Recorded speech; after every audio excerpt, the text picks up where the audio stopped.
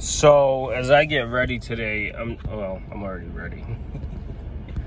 as I get going about my day, I think that one thing that truly changed my perspective, my life, and things for me in many different ways is this concept of constantly learning.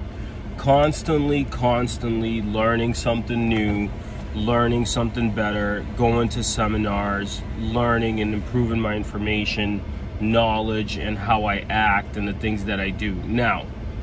if you truly dedicate the time as a realtor, as a business person, to constantly learning, meaning taking time away from your family and friends to go sit in a boring classroom just like you did when you were in school and learning and taking notes and doing that over and over and over again, I think the accumulative effect of that ends up taking hold, and your knowledge ends up being so strong, and eventually ends up leading you in a, to the places you want, whether that be financially, mentally, emotionally, spiritually, because you could learn all kinds of different things.